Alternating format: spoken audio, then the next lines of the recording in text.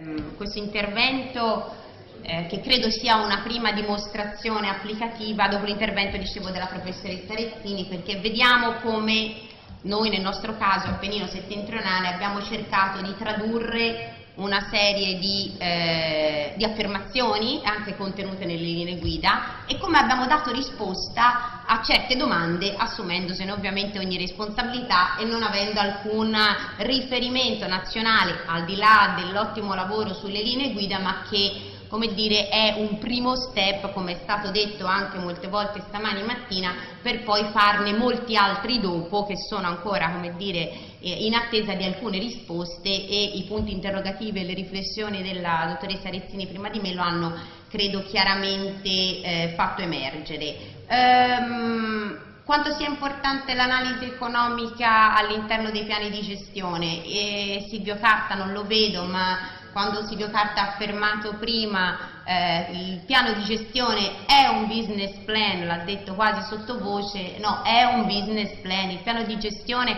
è proprio questo, non è una delle altre tante pianificazioni, è la pianificazione, è il master plan ai sensi della direttiva 2060 che noi consegniamo per il governo della risorsa idrica a 360 gradi, in, ma soprattutto è una pianificazione che a differenza delle altre, al di là della gerarchia delle pianificazioni dove il PDG è sostanzialmente la macro pianificazione di riferimento che poi contiene tutte le altre pianificazioni di settore, tanto per essere chiari, non è niente al posto di ma è qualcosa che le raccoglie e fa un salto di qualità in termini contenutistici che è dato soprattutto da questo elemento, dall'analisi economica. L'analisi economica che è richiamata nella direttiva, e sono citati velocemente alcuni articoli, poi ci sarebbero tutti gli allegati, ma non bastava la slide, perché l'analisi economica è un obiettivo, nel senso che va fatta l'analisi economica per la ricostruzione del quadro conoscitivo iniziale, il famoso contesto socio-economico di cui si parlava, trova fondamento nell'analisi economica, articolo 5, ma non è solamente un obiettivo, l'analisi economica è obiettivo e strumento dei vari step della pianificazione, articolo 11, perché la combinazione delle misure idonee a raggiungere l'obiettivo di qualità, il famoso 2015 posto cui sempre dobbiamo tendere, è, è, come dire, è basato, dice l'articolo 11, si fa sulla base dell'analisi economica, non si fa sulla base di altri tipi di valutazione. Quindi mi verrebbe ancora da dire, è un business plan, ma certamente è un business plan. Quindi il piano di gestione, proprio in quest'ottica, io c'è sotto, come dire, pianificazione è funzionale a che cosa? Certo alla ricostruzione del quadro conoscitivo, ma soprattutto alla individuazione del programma di misure che consentono di raggiungere gli obiettivi perché ricognizione è individuazione, poi lo vedremo nelle slide successive velocemente, del gap che mi distanzia dallo stato di qualità buono, è individuazione quindi dell'obiettivo di qualità, ma delle misure che mi servono per raggiungere quello spa, per raggiungere l'obiettivo. Laddove non ce la faccio, non a caso, questione delle exemptions e scelta delle exemptions e lo vedremo. Quindi siamo in una pianificazione strategica. Non va? Che è successo? Ecco. Ok, allora, siamo in una, una, pianificazione strategica, quindi dicevo i vari step, no? la successione, che parte dalla ricognizione della situazione di partenza e io ho fatto qui, l'ha fatto vedere stamattina Marina, ma credo sia importante, perché questo è il percorso logico seguito a livello comunitario, codificato si può dire nelle linee guida ECO 1, ECO 2, poi ripreso sostanzialmente alla base della guidance che ora uscirà sugli Earth Assessment e contenuto nelle nostre linee guida nazionali, che sostanzialmente fa un parallelismo, no? quindi il percorso logico come noi abbiamo ragionato e come del resto poi è codificato all'interno di eh, questa rappresentazione. Ricognizione della situazione di partenza, certo, non a caso la prima domanda è esiste una pressione significativa sul sistema idrico? valutazione dell'impatto sul sistema idrico. Se non si conosce lo stato di partenza, e poi vedremo come noi giudichiamo la valutazione dello stato di partenza, quali, come si valuta la situazione dello stato di partenza, perché ci sono varie metodologie, anche qui ce ne, ce ne sono tanti che hanno margini di incertezza e anche sono più, più, o meno semplici ma hanno altrettante margini di incertezza più o meno alti, esiste anche una combinazione delle metodologie a cui noi abbiamo fatto ricorso, in ogni caso come dire ricognizione della situazione di partenza. Definizione degli obiettivi ambientali stima del gap tra stato attuale e obiettivo, altrimenti di cosa parliamo? Come dire, una volta conosciuto lo stato di partenza non a caso, nella ricostruzione, nel percorso logico individuato e codificato a livello comunitario, gli altri passaggi delle frezzette che non vi sto a dire sono proprio questi, riassumibili nella definizione degli obiettivi ambientali, chiedersi se qual è il gap, ma soprattutto se sono in atto misure per prevenire, evitare, ridurre e compensare il danno, perché vedremo che la definizione degli obiettivi ambientali e la valutazione del gap deve essere fatta consapevoli delle misure cosiddette ongoing, che sono quelle finanziate o programmate. Terzo ovviamente individuazione delle strategie, una volta valutato il gap si, devono, si deve fare un programma di misure, è il POM il core diciamo, di questo piano di gestione facendo riferimento alle ongoing in attuazione o finanziate, lì le vedremo poi con la copertura del costo, oppure misure necessarie da finanziare per colmare il gap se quelle in corso non ci sono. E non a caso, stesso parallelismo a livello di percorso logico, la stima economica del danno, ulteriori misure per raggiungere gli obiettivi, ridurre o compensare il danno. E infine la sostenibilità, perché tutto ciò non si tiene insieme se non c'è il passaggio nell'individuazione del, del, programma di misure e nel, anche nella scelta eventualmente del ricorso alle exemptions di un'analisi di eh, dire, analisi economica intesa come analisi di sostenibilità a 360 gradi, un'analisi di sostenibilità abbiamo sentito il dettaglio economico finanziario ma aggiungo ambientale, un'analisi di sostenibilità sociale che in effetti, come, dire, come vedrete, poi si accompagna con una valutazione del costo, dell'efficacia delle misure. Sostenibilità significa, come dire, una valutazione costi-benefici quindi una stima anche poi dell'efficacia e poi dell'efficienza e quindi della sostenibilità delle misure per poi ricorrere o meno alle exemptions che ci sono permesse. Quindi vedrete, vedete come sostanzialmente poi alla fine dire, il percorso è molto molto logico, talmente logico forse che a livello comunitario hanno seguito eh, la stessa strada, insomma, quindi è ovvio che ci siamo ispirati a quello che c'era nelle famose Comune 2, poi riprese, ma mi viene anche da dire non può che essere così, non esiste altra strada. Metodologia quindi che noi abbiamo seguito e lo voglio ricordare, approvata formalmente in comitato istituzionale nel 2010, quindi la nostra impostazione è stata come, in qualche modo approvata, no? in qualche modo, più che in qualche modo abbiamo una delibera di comitato istituzionale, poi successivamente con il DPCM ovviamente del 2013 ha complessivamente ovviamente approvato il piano di gestione, ma in particolare nelle varie eh, parti ovviamente è evidenziata questa metodologia che noi abbiamo, eh, abbiamo, seguito e prima testato su un caso sostanzialmente che è un sottobacino dell'Arno ed ora esteso. Eh, siamo, eh, apro una parentesi perché eh, dice ma in che fase siamo adesso? Insomma, eh, siamo in una fase molto delicata perché questa è la fase di consultazione, la famosa fase di eh, pubblicità e consultazione del piano perché entro dicembre del 2015 noi consegniamo a Bruxelles l'aggiornamento del piano di gestione. Consegniamo, si parla di secondo ciclo di pianificazione, ma visto che siamo in casa e molto fra addetti ai lavori, diciamo un po' la verità, è il vero primo piano di gestione, anche perché l'Europa il piano di gestione pubblicato nel marzo del 2012, approvato qui a febbraio del 2009, dopo che la legge 13 all'inizio del 2009 ci aveva dato alle autorità di bacino nazionali il compito di redigere nelle more della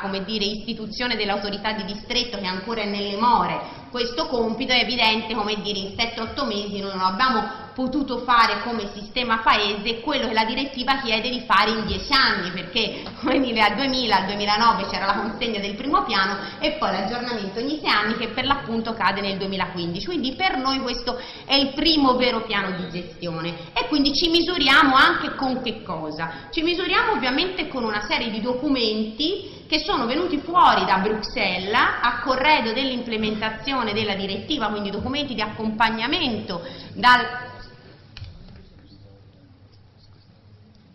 documenti di accompagnamento che sono, venuti, che sono ovviamente stati eh, elaborati, redatti come sempre dalla Commissione, le comunicazioni della Commissione, le risultanze dei gruppi di lavoro, i paper comunitari di dettaglio su water accounting, sul water pricing e anche ovviamente su alcuni aspetti della direttiva,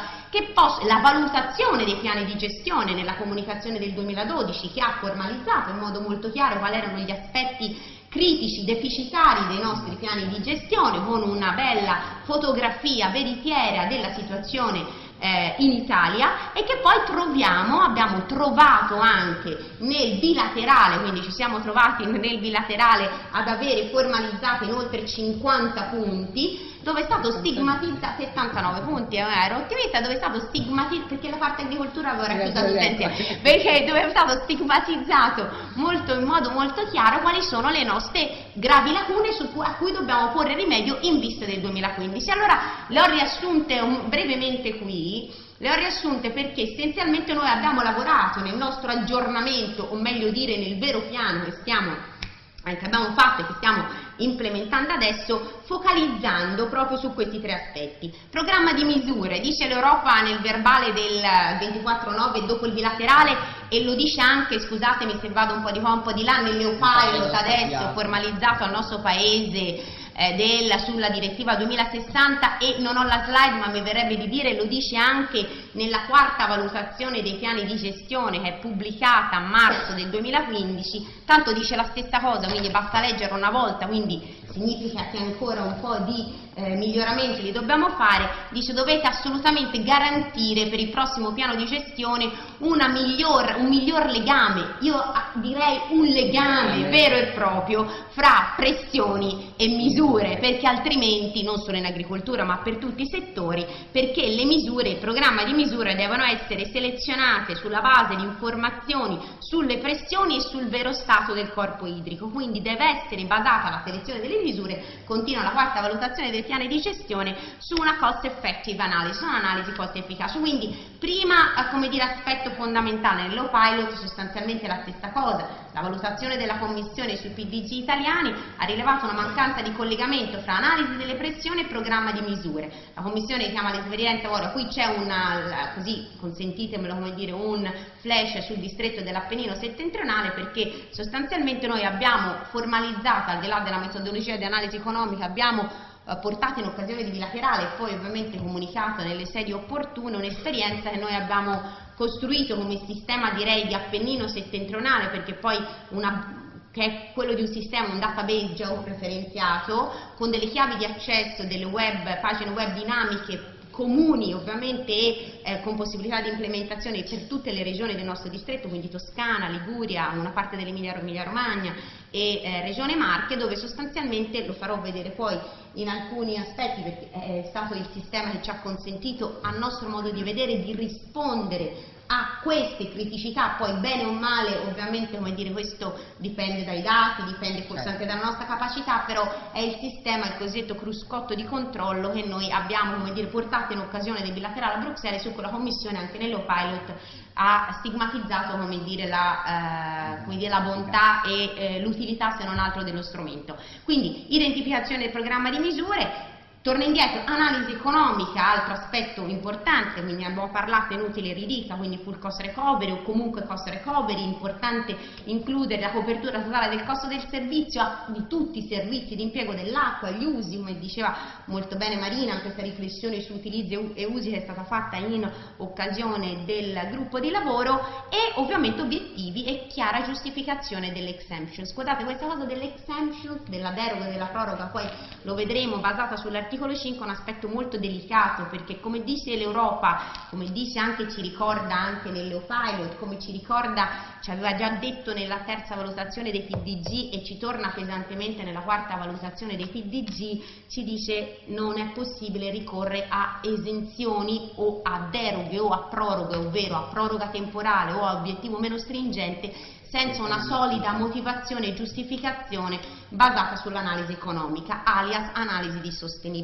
Poi vedremo dire, il ragionamento che noi abbiamo messo in piedi. Certo è che così come abbiamo indicato le, le proroghe e le deroghe non andava bene, quindi dire, occorre fare un grande sforzo eh, al nostro modo di vedere in quest'ottica. E allora uno sforzo che ovviamente parte, riprendo e cerco di esplodere i vari passaggi che ho richiamato all'inizio, la ricognizione della situazione di partenza, questi sono tutti i dati di base che le autorità di bacino nazionale, le autorità di distretto barra autorità di distretto, le regioni ovviamente insieme con un approccio bottom up, diciamo un po' in questo caso a livello di coordinamento, siamo riusciti a mettere insieme, abbiamo valorizzato dove era possibile avere per la ricognizione della situazione di partenza i dati aggiuntivi, dati che voglio dire non sono chiesti dalla direttiva, quindi l'aggiornamento sullo stato di attuazione delle misure, ad esempio che richiamava stamattina il Presidente di AIT,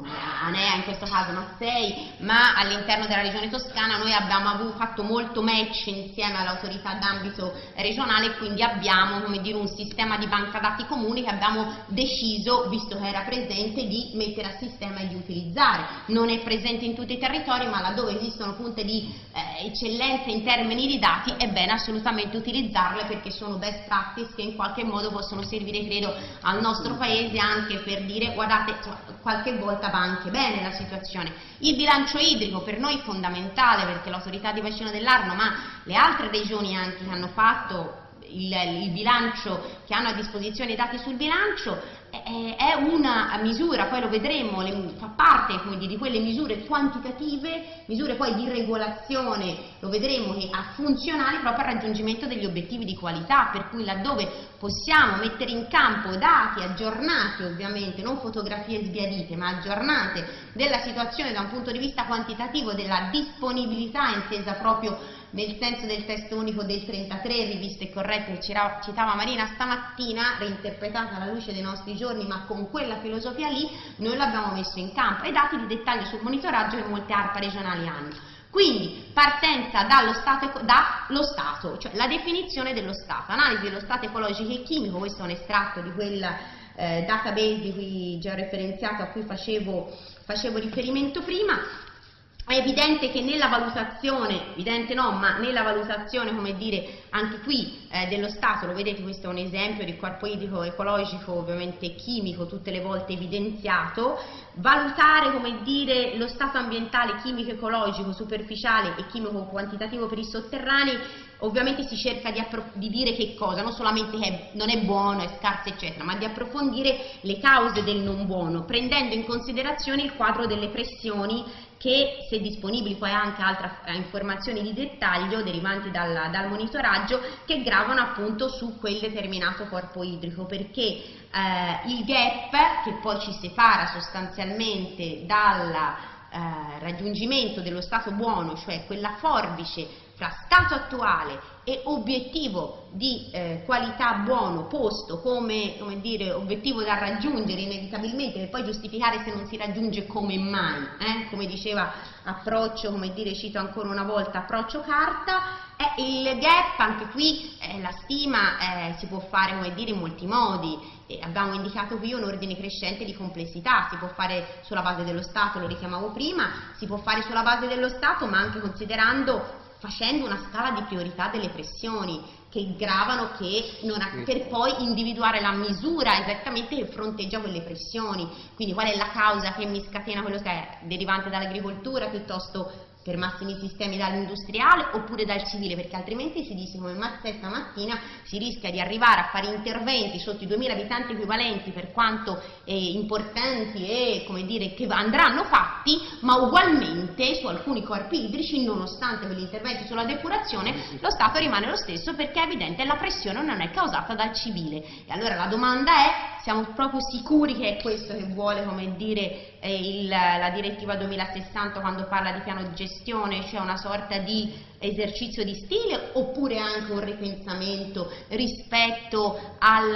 stringente obiettivo di alcune direttive che avevano un approccio molto diverso rispetto a quello che dà la direttiva. Questa è anche una domanda filosofica, eh, che insomma a mio modo di vedere occorrerebbe fare, anche perché quando il budget a disposizione, visto che si parla di analisi economica, è quello, è dato e io con quello devo fare, eh, insomma la scelta delle priorità è fondamentale altrimenti come dire si fa una sorta di elenco delle cose da fare ma senza bisogno, allora il pianificatore in quel caso proprio non serve, insomma si può anche risparmiare sui tanti pianificatori che ci sono nel nostro paese. Quindi Prima, quindi terzo ordine di complessità, ma stato, pressioni e fattori, e fattori, quantitativi legati alle pressioni, perché espressi ad esempio come carico inquinante in abitanti equivalenti. Ugualmente una stima del gap che poi espressa, anzi ugualmente, così come come dire, prima valutazione, adesso in che modo posso esprimere il gap? Come percentuale, quindi prendendo uno 0% quando il gap non esiste, qualità buona, non ci sono problemi, 100% massima distanza tra lo stato attuale e lo stato obiettivo,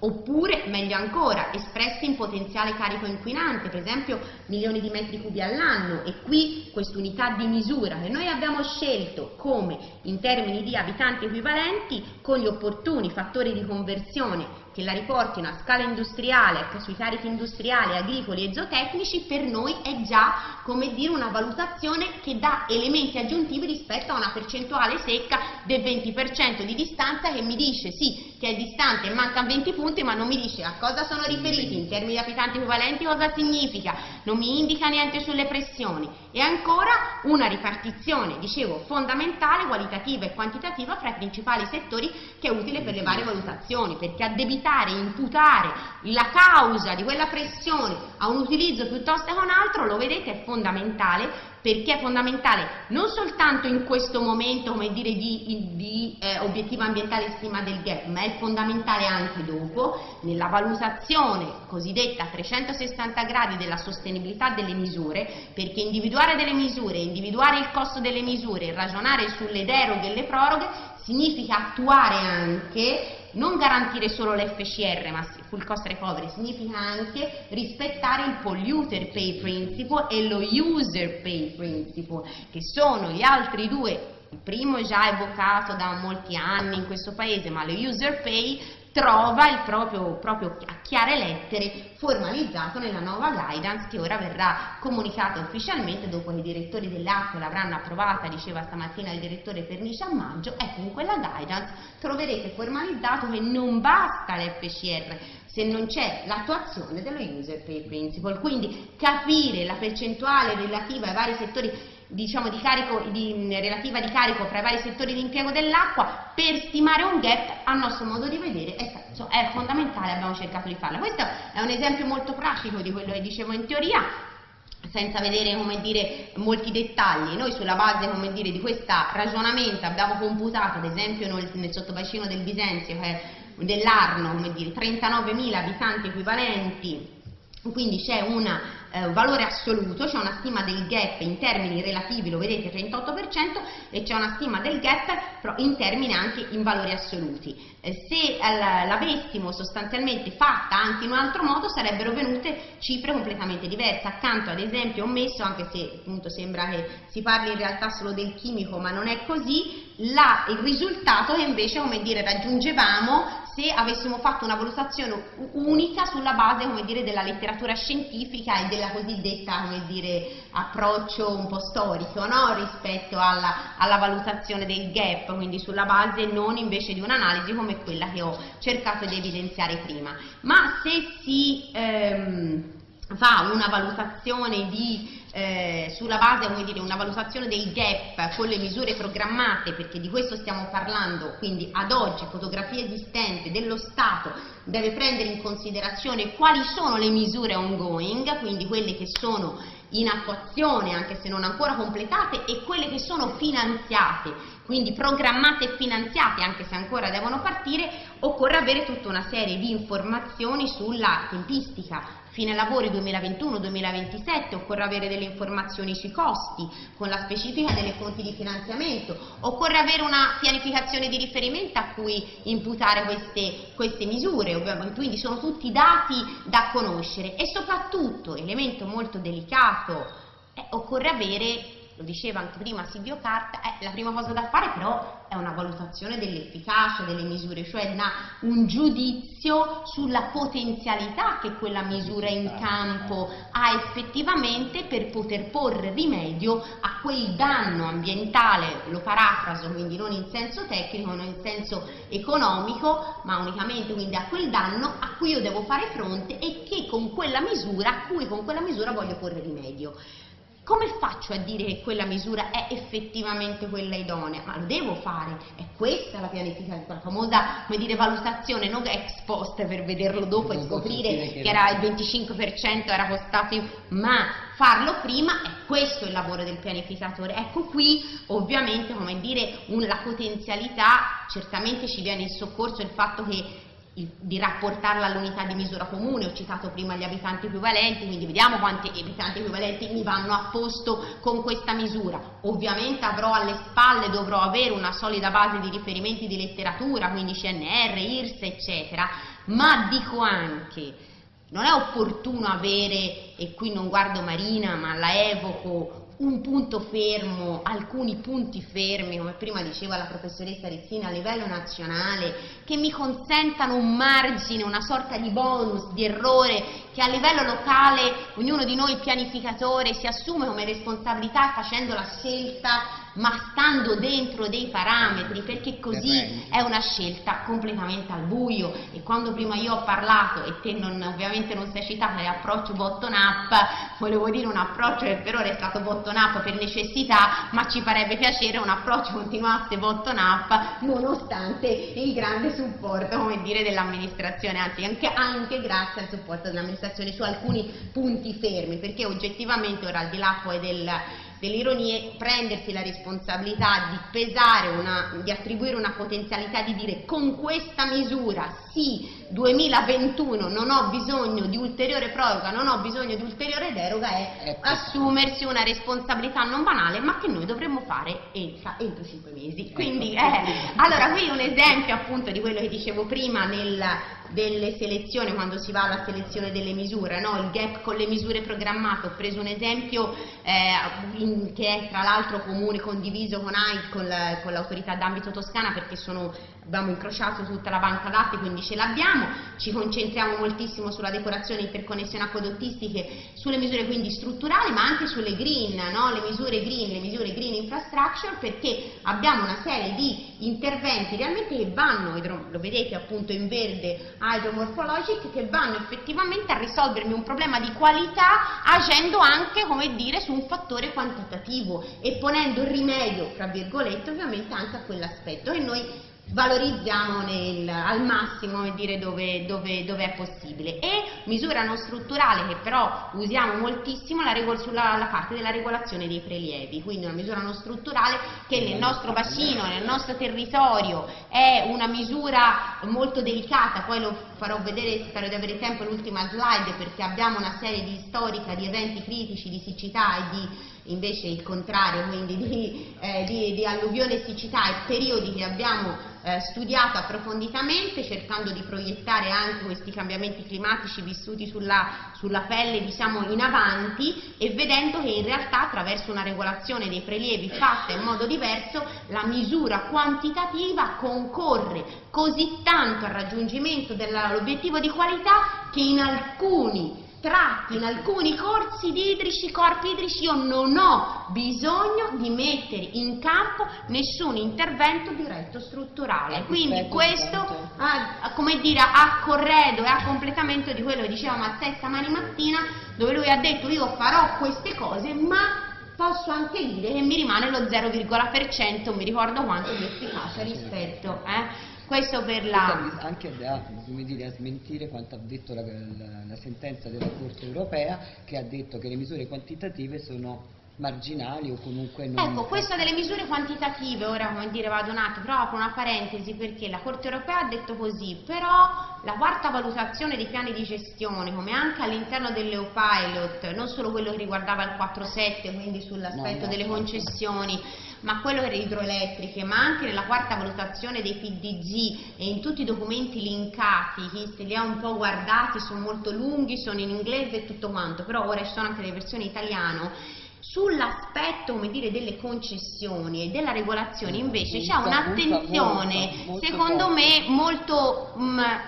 dire, puntuale, diversa rispetto a prima. La quarta valutazione, quando appunto parla del, a parte il metering, quindi la misurazione di tutte le concessioni, ma fa addirittura una stima sostanzialmente delle concessioni che andrebbero riviste, addirittura prova nel nostro paese facendo una valutazione complessiva questo a 360 gradi e insiste tantissimo sulla misura di regolazione dei prelievi, sulla differenziazione degli usi, sul cercare di utilizzare il più possibile anche le stesse green, no? le misure a cavallo praticamente per le due direttive c'è un'attenzione particolare, tant'è che ci sono anche finanziamenti dedicati tra l'altro, quindi questo dovrebbe anche in qualche modo favorire laddove possibile e laddove ovviamente scientificamente dimostrato, dove no. Qui um, l'esempio di quello che dico noi attraverso come dire, queste valutazioni, attraverso questo ragionamento che ho fatto, dal 38% sull'ecologico c'è un gap rimanente del 10% e un gap colmato dalle misure programmate. Cosa che se avessi usato un altro sistema, c'è sempre il parallelismo, avrei mantenuto senza una valutazione, un ragionamento, un'attribuzione di, di quello che ho detto, appunto di alcune riflessioni un pochino più corpose, oltre dire, a passaggio da status, dallo stato a un altro, avrei avuto ugualmente dire, una situazione, una fotografia abbastanza statica. Allora, dopo tutto ciò eh, si arriva però alla, alla, domanda, cioè alla definizione delle strategie. Detto tutto ciò, valutato il gap con le complessità del caso, ma scelta una strada attraverso la combinazione delle varie metodologie le più diverse, assumendosi quel margine di errore che, ripeto, andrebbe ancorato da un aiuto nazionale in qualche modo? Eh, la domanda è a valle delle misure ongoing, le pianificate o eh, le finanziate, quindi quelle ongoing che non sono ancora concluse, quelle però pianificate quindi vuol dire coperte, eh, coperte dal sistema della, della pianificazione, dal sistema di prezzi. Esiste ancora il gap? Eh, e se il gap non esiste più, io ho solo bisogno di una dilazione temporale, chiedo più tempo, guardate anche qui con un grande diciamocelo come dire, questa è una sorta di leggenda, si apre una parentesi e si chiude nostra, e tutto questo ragionamento andava fatto per il 2015 e noi lo facciamo per il 2021, è evidente, ma questo ce lo siamo detti stamattina, no? c'è una traslazione dal primo al secondo ciclo. Il primo era di prova, questo è quello vero, diciamo. E allora la proroga di buona al 2021, io dico le misure pianificate sono sufficienti, ho solo bisogno di vedere la loro efficacia, ho bisogno di più tempo perché ancora le ho potute, le valuto come, un, come, quelle che mi servono, non ne aggiungo altre, quindi faccio una scelta, ma ho bisogno di avere più tempo perché altrimenti, come dire, non vedo, non le sono ancora in fase di realizzazione, sono ancora da terminare, sono nel sistema di pianificazione ma non sono ancora partite per vari ritardi. Allora, in questo caso, se è così, c'è un costo ambientale, ma è un costo ambientale coperto, è un costo ambientale, attenzione, un full cost recovery, eh, c'è anche un polluter pay principle, io questa slide l'ho messa, l'ho messa perché è la prossima frontiera, nemmeno tanto prossima, ma è quello che chiede l'Europa, non basta il full cost recovery, ma siamo sicuri che il costo è coperto ma anche internalizzato, perché una cosa è la copertura del costo che deve essere garantita a carico di tutti i settori di impianto dell'acqua e già qui molti problemi, ma è internalizzato il costo perché se non c'è, la, cioè la rispondenza al polluter pay principle e ancora di più allo user pay principle volendo che è appunto un affinamento del polluter pay non si può pagare di FCR no? questo come non si può pagare, parlare scusate di internalizzazione del costo perché deve essere coperto ma deve essere coperto dall'imprensore e quindi internalizzato allora, se però tutto ciò avviene, visto che l'ERF, la linea guida del Ministero, una proxy del costo delle misure per raggiungere lo Stato buono e questo è stato finalmente codificato, ci siamo, la domanda però può essere no, io ho solo bisogno di una proroga, ma può essere no, a valle delle misure pianificate il gap c'è sempre. E che cosa faccio se il gap c'è sempre? Che cosa faccio non domani, non a gennaio, che faccio ora? Che cosa ho fatto e che cosa sto facendo grazie alla consultazione? Perché tutto questo si chiude a dicembre e quello che si chiude a dicembre va a Bruxelles. No, questo per come dire, dire quanto sia anche pesante qualche volta mettere giù per iscritto o non mettere come dire, alcune cose. Però se ciò esiste, il gap esiste, io devo verificare se posso aggiungere ulteriori misure, quindi la, la, risposta positiva presuppone questo, cioè il gap sussiste e allora io per forza devo valutare la possibilità di aggiungere ulteriori misure, valutando se i benefici che sono ovviamente connessi a questa, eh, a questa come dire, la possibilità, ovviamente sono realtà fattibili poi anche oppure non sono, non sono eh, fattibili perché se in quel caso ovviamente avrò un costo ambientale esterno e lo vedremo. La selezione delle misure aggiuntive, questo lo voglio dire anche questa, che è sulla base della stima del gap, della conoscenza delle determinanti, no? il famoso sistema SIR che è codificato dall'Agenzia Europea sull'Ambiente, determinanti, pressioni, impatti, no? quindi quella è fondamentale eh, si individuano ovviamente i settori di intervento che devono essere accesi per poi individuare le misure. Qui è accesa l'agricoltura, è inutile che vada dire, a intervenire, a potenziare o a aggiungere un intervento sulla depurazione sul civile, probabilmente non serve a niente. Sulla base ovviamente della stima del gap e della conoscenza dei determinanti non contrastati dalle misure programmate, si individuano i settori di intervento per le misure, si scelgono ovviamente le key type of measure, sono l'elenco, come dire, comunque lasciamo fare della, che è codificata all'interno della guidance, con informazioni correlate al diverso livello di complessità, cioè uno stepwise thinking, l'Europa ragiona spesso così, perché occorre individuare che cosa fare, quindi un'indicazione qualitativa, ma anche occorre per poter individuarlo una stima dell'ordine di grandezza degli interventi necessari. Io so che devo fare un intervento sul civile, sì, depurazione oppure collettore, ma di che tipo lo devo fare? Per quanto ordine di abitanti equivalenti? Perché non è come dire di default, perché probabilmente vi concorrono a monte una serie di interventi che se sono messi a sistema e gravano su quel corpo idrico in realtà già mi apportano un beneficio. Quindi c'è una valutazione che è un po' più complessa. È importante ovviamente avere anche la stima e il dettaglio della magnitudo dell'intervento per poter quantificare il carico equivalente che è contrastato, possibilmente sempre con la stessa unità di misura, cioè in abitanti equivalenti depurati e ovviamente con una stima del costo delle misure, per cui cosa fare, con quale priorità, ma anche con quali, con quali costi. E questo è un esempio applicativo di quello che abbiamo fatto dove abbiamo messo in campo delle misure aggiuntive, senza stare a entrare nel dettaglio, credo renda abbastanza, quando vedete le torte, come dire, sulla destra, partendo da un 38%, con le misure programmate rimaneva un gap del 10%, mettendo in funzione le misure aggiuntive che noi abbiamo valutato in questo caso, dopo tutti quei ragionamenti, da fare, quindi da fare, assumendoci quindi la responsabilità di dire sì, aggiungo questa misura perché è una misura che dopo questa valutazione è fondamentale, è una misura efficace, efficiente e sostenibile, perché per la definizione della delle misure, quindi per la valutazione la, solamente attraverso la stima del costo delle misure io posso fare una valutazione dell'efficacia, cioè quali sono fra le varie misure che contrastano i determinanti più impattanti e quali sono soprattutto le più affidabili per colmare il gap, ma anche dell'efficienza, quali sono quelle che minimizzano i costi e minimizzano i tempi. E contestualmente se dispongo di una stima dei benefici e questo è fondamentale disporre della stima dei benefici ecco perché chiedevo un ancoraggio sostanzialmente anche nazionale in alcuni casi perché a livello di paesi europei esistono delle metodologie nazionali su questo sulla cost benefit analysis ovviamente le misure aggiuntive mi devo chiedere anche, possono essere messe in atto in tempi compatibili con le scadenze delle direttiva e ancora, ma esistono pianificazioni in cui le misure possono essere finanziate? Perché altrimenti non la posso scegliere. Cioè, altrimenti, come dire, la valutazione della sostenibilità è questo, è una scelta di sostenibilità da un punto di vista economico, finanziario, sociale, ambientale, eccetera, eccetera. Tutte queste belle parole cadono in questo piccolissimo, come dire, quadratino qui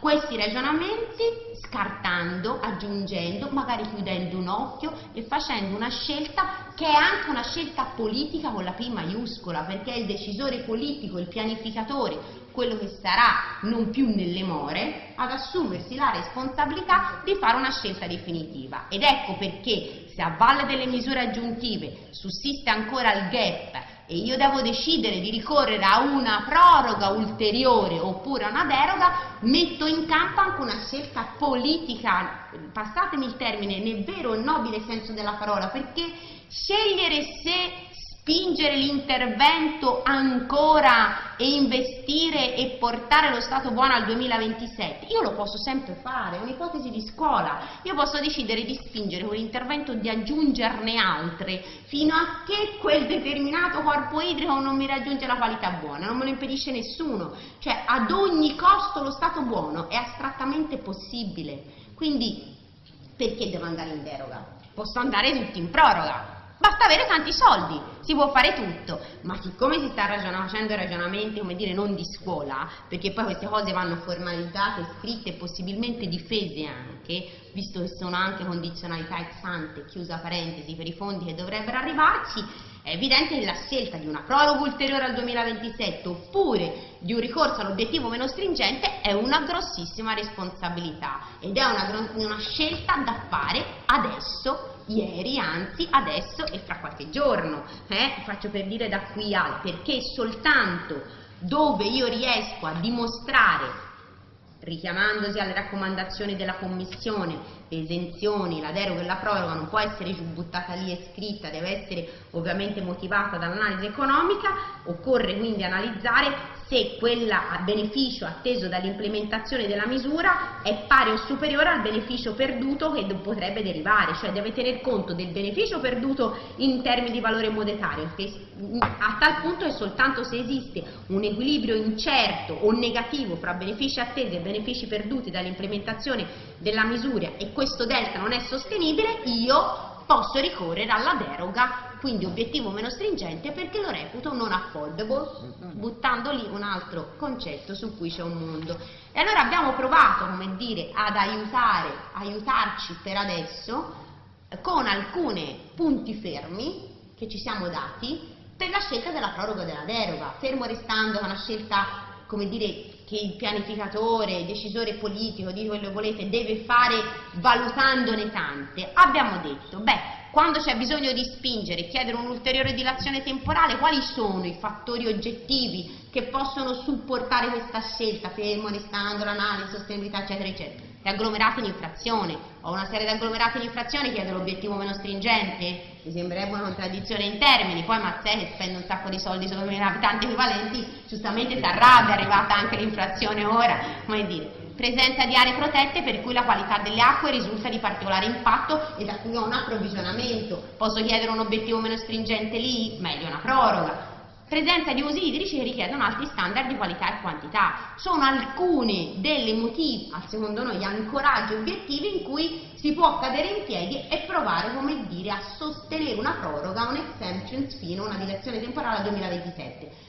Ce ne sono altri che invece, come dire, possono aiutare a giustificare ricorso all'obiettivo meno stringente parto dal corpo idrico fortemente modificato e dal canale artificiale, che del resto anche la direttiva dice può essere no, in qualche modo motivandolo sempre e certo. comunque, e la presenza di attività produttive di particolare rilevanza o un eh, distretto particolarmente importante dal punto di vista socio-economico, ho prima parlato di analisi di sostenibilità a 360 gradi, posso tranquillamente decidere che nella pesatura dei benefici e dei costi, ovviamente sulla base anche di dati oggettivi, non sulla base del sentimento, dell'emozione, eh, ma che quelle in quel determinato territorio sia preferibile andare a obiettivo meno stringente mantenendo però una determinata attività che in termini di lavoro ad esempio come dire, mi porta un, una valenza, un valore sociale a cui io non posso rinunciare. Questo significa fare una pesatura e scegliere come dire, una cosa piuttosto che un'altra. Chiudo dicendo che un'altra ipotesi come dire, di ricorso all'exemptions che ad esempio trova molto un caso come dire, nel nostro territorio e che noi useremo ovviamente corredata da tutta una base di dati, di serie storiche, di scenari di cambiamento climatico che abbiamo elaborato e che abbiamo inserito come capitoli importanti nel, nel piano di gestione sono la, il verificarsi di condizioni estreme e quindi gli eventi estremi siccità e piene negli ultimi sei anni. Attenzione perché la direttiva qui non vuole una individuazione di questo ricorso al 4.6, al 4.6, cioè a questa exemption ex post, lo vorrebbe ex ante, ma lo vuole ex ante se si è in grado di dare una proiezione avvalorata da una serie di, da una, da una serie di dati storici. Siccome noi in una parte del nostro territorio li abbiamo, siamo in grado sostanzialmente di fare questa proiezione, quindi indicatori quantitativi e relative soglie al di sopra delle quali è secondo noi giustificato ricorrere al 4.6 e questo va di default come quanto una regolazione dei prelievi può mitigare i rischi di carenza idrica. Per noi, in alcune porzioni di territorio, in particolare nel bacino dell'Arno dove abbiamo a disposizione molti dati, ci sono tante ipotesi di costo della risorsa, ci sono ipotesi nel quale a fronte di quel costo, come dire, nominato e individuato codificato nel costo della risorsa secondo le eh, linee guida, io posso far fronte e porre rimedio attraverso, come dire, non un'elargizione, fra virgolette, magari con un'individuazione di un canone che sia realmente tarato sulla base di quel prelievo, magari attraverso un bilanciamento fra canone uso civile e industriale, magari attraverso anche un incremento, lo voglio dire con grande chiarezza, è stato detto stamattina, ci, tutti si preoccupano tanto delle tariffe, giustamente preoccupiamoci anche un po' dei canoni che sono comunque di derivazione, forse una leva importante nelle mani delle regioni, ma questo è un caso per quanto ci riguarda, come dire, di una politica di quello water pricing e di meccanismi di di incentive pricing che secondo noi come dire, rispetta non solo formalmente ma anche sostanzialmente lo spirito della direttiva. Ho finito, ringrazio, voglio ringraziare Marina, non l'ho fatta all'inizio perché non c'eri, che è stata un po' il motore di questo, di, questo, di questo, gruppo e credo che se siamo qui, e l'ho detto prima, senza piaggeria, un primo step per me, ce ne sono certo, molti altri da fare. da fare, però intanto questo primo step l'abbiamo fatto secondo me grazie soprattutto a chi trainato, con fatica che ha trainato fino, fino ad oggi. Grazie. Gracias.